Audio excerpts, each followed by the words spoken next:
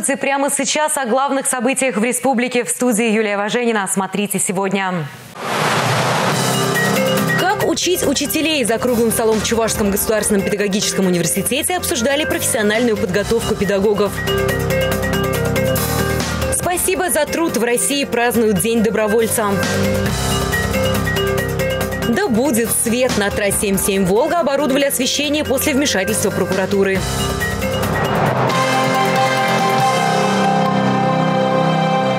Совершенствовать систему подготовки учителей? Сегодня этот вопрос обсуждали в Чувашском государственном педагогическом университете. Круглый стол с преподавателями, студентами, работодателями прошел с участием главы республики. Тему продолжит Дмитрий Ковалев. Утро будущего педагога начинается в читальном зале. Чтобы стимулировать растущий интерес к литературе, в библиотеке вуза развивают современные технологии. У каждого студента появился онлайн-кабинет. Чтобы забрать книгу, необходима кампусная карта. Это быстро, удобно и современно. Нам очень нравится, что сейчас есть такая функция. Они могут проверить у себя в личном кабинете, то есть э, какая книга у них задолженности, какой они еще могут пользоваться. Но еще 10 лет назад о таких технологиях и вообразить было трудно. Все меняется стремительно. За последние годы только на развитие образования республики из бюджета направили многомиллиардные суммы. Глава региона отметил, что в перспективе по своей оснащенности и сельские школы не должны ничем уступать городским. Для вас тоже огромные перспективы открываются. Наша задача вместе с вами принять вот эти ответственные решения. И садики открываем новые, современные, инновационные. Потребность в педагогических кадрах будет только расти. Если в этом году в муниципалитетах республики было открыто три новые школы, то в следующем возведут еще одну в микрорайоне Новый город. Вакансий сотни, но необходимы квалифицированные специалисты, которые готовы работать в реалиях постоянно развивающейся системы образования. Немаловажный аспект – уровень заработной платы. Вот данные последнего соцопроса, проведенного в университете. Более 70% выпускников вуза хотят получать до 50 тысяч, но при этом только каждый пятый студент планирует и дальше работать в районе. Следующий важный момент Значит, вы будете работать после окончания? 63% говорят, да, мы определились, будем педагогами работать. Но из этих 63, 60 говорят, да, если смогу устроиться на интересующее меня место работы. Настраивает на ту мысль, что иногда мы управляем своих детишек, лишь бы получить высшее образование.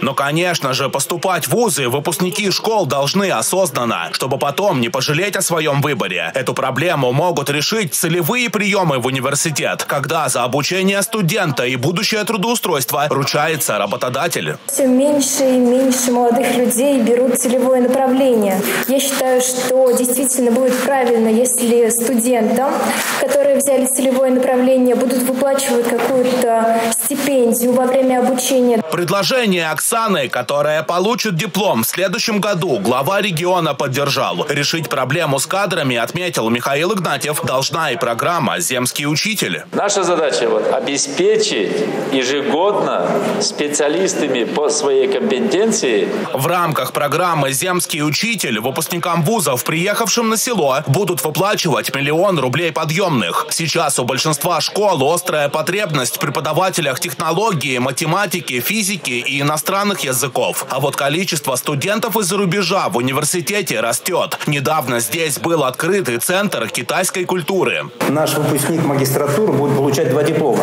Один диплом российский, другой китайский. Сегодня 20% у нас доля иностранных студентов. Это очень хороший показатель. Григорьев Александр приехал учиться в республику из Ямало-Ненецкого автономного округа и сейчас работает в Чебоксарах преподавателем истории. Э, конкретно первый год я дал сам себе такой пробный. Понравится – останусь, не понравится – уйду. Но именно в школе э, вот чувствуется постоянная поддержка молодых специалистов. Качество образования в республике в следующем году оценят международные эксперты. Дмитрий Ковалев и Павел Редков. Республика. В чебоксарских школах будут готовить кадры для цифровой экономики. В шести столичных образовательных учреждениях создадут математические и информационные лаборатории, кабинеты технологии. Проекты по распространению лучшего опыта в сфере формирования цифровых навыков представили школы 38, 47, 3 и 4 лицеи, гимназия номер 1 и детский технопарк «Кванториум». Общая сумма субсидий на реализацию центров цифровой подготовки составит 33 миллиона рублей. Образовательные учреждения стали обладателями грантов в рамках федерального проекта «Кадры для цифровой экономики».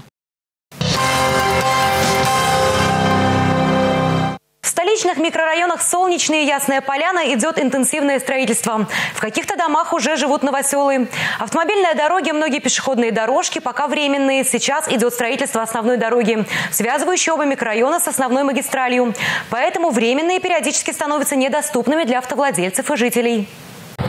Чебоксарка Татьяна Гаврилова ждет третьего малыша. Счастливое ожидание омрачает чувство дискомфорта. Она наряду с соседями попала в безвыходное положение в прямом и переносном смысле слова. Ситуация для меня лично очень тяжелая, потому что мне приходится ходить часто очень на последних сроках беременности в больницу с двумя маленькими детьми. Таксисты не всегда заезжают, а здесь очень опасно ходить, потому что техника за ребенком тоже я не услежу. Вот он побежит, если на дорогу Взамен этой временной дороги строится новая. Сейчас по бульвару Солнечному дорожники активно завершают укладку земляного полотна. Уже сделаны щебеночные основания. Строительство 400-метровой дороги по контракту должны завершить до конца декабря. Работа кипит. Вместе с тем поднимается и градус недовольства жителей. А вчера здесь дорогу перекрывали полностью, людей не пропускали. Люди проходили оттуда по трапу. Там э, вроде деревянный трап, по которому по коляскам неудобно спускаться. Сразу не пройдешь они восстанавливают, машина работает, машина вот освободит дорогу, тогда они пропускают. Приходится скоро вызвать, мы на данный момент тоже болеем и просто даже не вышли сегодня в больницу, потому что не можем дойти. Дорога не освещена. Это, во-первых, мы ходим на кружки, возвращаемся вечером. Э, ребенок может потеряться, заблудиться. Жильцы, конечно, понимали, что переезжая в новостройку, они должны быть готовы к временным неудобствам. Заманили, как говорят, а теперь вон только дороги строят. Надеюсь, скором времени все будет. Экстремальные дороги на выживание молодых мам. Ходить не очень удобно, конечно. И деревянные настилы очень скользкие. Глава администрации Алексей Вадыков в своем инстаграме высказал свою озабоченность сложившейся ситуацией, а на сегодняшней прямой линии обещал принять первоочередные меры. Наталья Мальчикова, Маргарита Мельникова, Андрей Спиридонов. Республика. Вот как прокомментировали сложившуюся ситуацию в администрации города Чебоксары. Микрорайоне Солнечный ведется строительство автомобильной дороги. Э, строительство этой автомобильной дороги, кроме самой дороги, входит также сооружение тротуаров и наружного освещения, которое будет соединять с автомобильной дорогой Сломаса и, соответственно, с проспектом тракторостроителей. Планируемое завершение строительства данных автомобильных дорог до конца текущего года. Временное пешеходное сообщение, коих там на сегодняшний день три.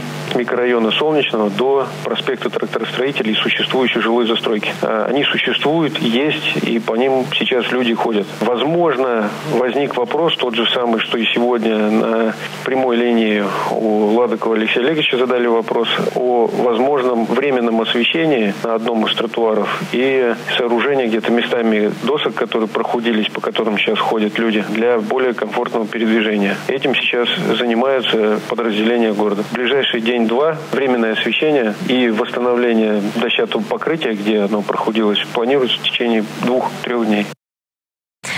Вопрос транспортного сообщения с новыми столичными микрорайонами прозвучал сегодня и на прямой линии главы Чувашии с жителями республики. Ее организовало издание «Про город». Линия транслировалась в социальной сети ВКонтакте. Михаил Игнатьев впервые вышел в прямой эфир в соцсетях. За несколько дней на портал «Про город» поступило более 300 вопросов. За два часа глава Чуваши ответил на часть из них. Среди вопросов благоустройство территории в новых микрорайонах столицы, строительство там школ и садиков. Жителей других муниципалитетов волнует отсутствие дорог в населенных пунктах, качество питьевой воды. Кстати, последняя тема самая актуальная. В одном из районов Мариинского посада сказали читатели, воду из местного водопровода пить невозможно. Михаил Игнатьев рассказал о начале реализации федеральной программы «Чистая вода». В ее рамках во многих муниципалитетах построят новые сети, модернизируют старые. Реконструкции подвергнутся и водонапорные башни. Это будет решение исторической проблемы. В Чувашии продолжается реализация национального проекта «Безопасные и качественные автомобильные дороги». В рамках проекта на территории республики не только ремонтируются и строятся автомобильные магистрали, но и появляются новые остановки и павильоны. Подробнее об изменениях на дорогах в нашем сюжете. Поселок Сосновка растянулся вдоль Волги. Транспортные остановки в начале и конце. Дойти до них не всегда под силу мамам с маленькими детьми, пожилым. Да и сами места для ожидания автобуса или маршрутки уже давно не соответствовали стандартам безопасности. Было очень неудобно. Когда их не было, было очень неудобно. Создание придорожной инфраструктуры – одна из целей национального проекта. Подрядчик оборудовал на автомобильной дороге «Вятка», идущей через поселок Сосновка, две остановочные площадки, павильоны и пешеходный переход. Проект стоил весь миллион шестьсот три тысячи рублей. Финансирование происходит из республиканского и федерального бюджета. Удобство сразу же оценили местные жители. Не надо под дождем и снегом, иногда и по грязи, добираться до дальней остановки. Построили замечательные остановки, довольно быстро. Вот теперь пользуемся все, очень рады. Необходимость в строительстве остановочного павильона была и в Мариинско-Посадском районе. Здесь, на автомобильной дороге Волга-Мариинский Посад, близ деревни Шигаева, также построили новый остановочный павильон. Все было выполнено, установлены для удобства пешеходов были сделаны переход, тротуары, подходы к павильонам, установлены дорожные знаки, дорожное ограждение для безопасности движения пешеходов. Как отмечают в республиканском Минтрансе, строительство остановочных пунктов существенно улучшает транспортную ситуацию на дороге, создает безопасные дорожные условия. Богдана Дойникова, Валерий Резюков, Республика. После иска прокуратуры Чувашии к федеральному казенному учреждению «Волга-Вятск-Упордор» на трассе М7 «Волга» оборудовали дополнительное освещение. Появилось оно возле деревни Большие Карачуры. Над остановкой станции Чебоксары и пешеходным переходом свет раньше загорался только когда в ясные дни энергию копили солнечные батареи. Само собой, зимой здесь зачастую было темно. До этого много здесь случаев ДТП было, работников железнодорожного транспорта, смертельные случаи были. Но вот недавно, где-то месяц назад, а, когда вот провели освещение по всей дороге, они подключили к общей сети. Сейчас уже освещение и вдоль дороги, и здесь на остановке, где переход. Сейчас нормально. Люди переходят с работы, после работы. Вроде сейчас более это, безопасный переход стал.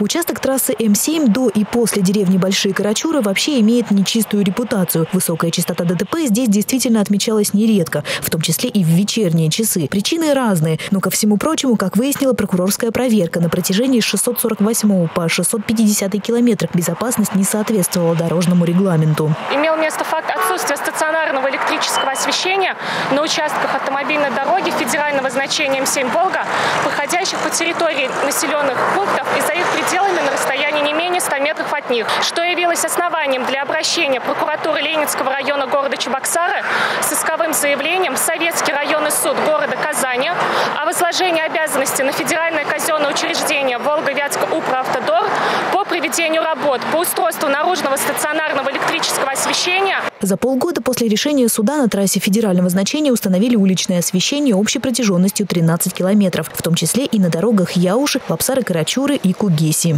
Чем светлее, нам всем лучше. Лишь бы не было ДТП, люди лишь бы не болели, радовались.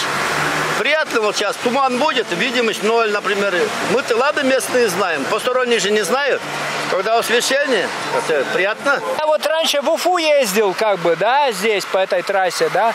Без освещения, конечно, плохо было, особенно ночью. Потому что видимость плохая, особенно в такую погоду. Сейчас значительно лучше стало. Электрическое освещение по нормативам обязательно на пешеходных переходах, остановках общественного транспорта и участках трассы за пределами населенных пунктов на расстоянии не менее 100 метров. Ирина Волкова, Маргарита Мельникова, Павел Иритков, Бахтияр Велиев. Республика. 5 декабря Всемирный день волонтеров. В Чувашии действует 1700 команд. Это более 50 тысяч человек. Они работают в самых разных направлениях – в культурном, патриотическом, экологическом, спортивном, медицинском. В их числе молодые люди и добровольцы в возрасте. Сегодня в столичный город администрации чествовали лучших волонтеров республики. Они убирают улицы, навещают бездомных животных в приютах, помогают в больницах, домах престарелых, детских домах. Каждый человек может совершать хорошие поступки, но объединившись, они становятся великой силой добра. Добрые дела меня вдохновляют совершать ребята, которые рядом, потому что волонтерством я начала заниматься именно благодаря друзьям. После каждого мероприятия чувствуется усталость, но это приятная усталость.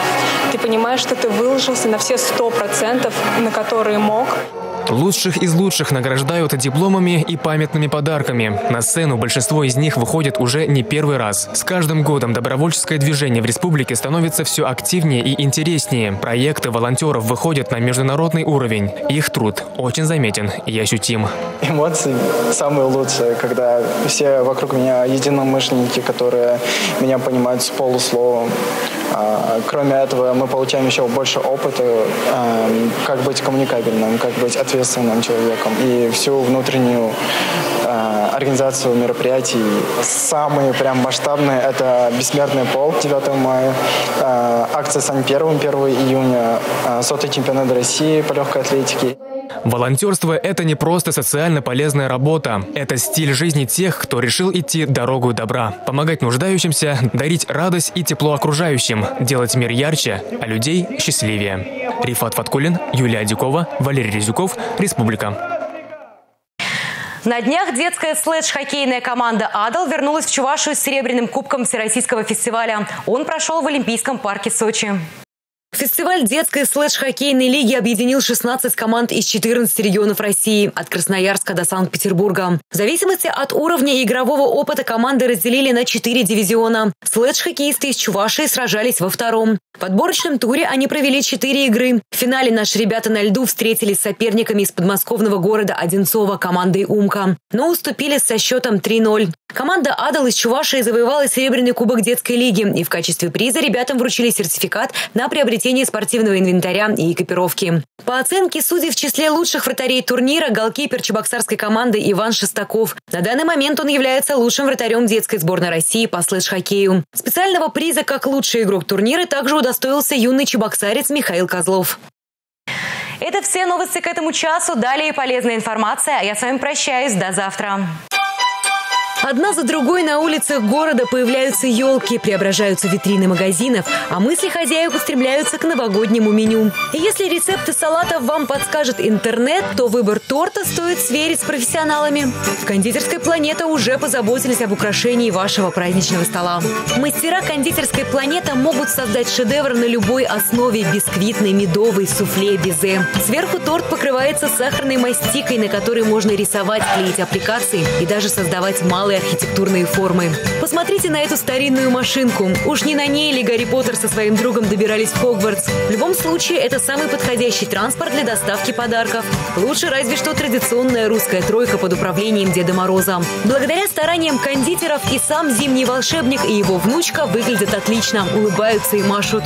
Если вам жаль есть такую красоту, можно оставить ее как память о празднике. Сахарная скульптура будет украшать вашу кухню до следующего Нового года, как минимум. Можно даже даже разобрать ее и использовать как елочные игрушки. Композиции из различных ингредиентов мастера планеты создадут и по своим эскизам, и по рисункам заказчика. Во втором случае вы получите эксклюзивный праздник. Металлическая крыса это наверняка оценит. Уважаемые жители города и республики, кондитерская планета поздравляет вас с наступающим 2020 годом. Годом шустрой и упорной крысы.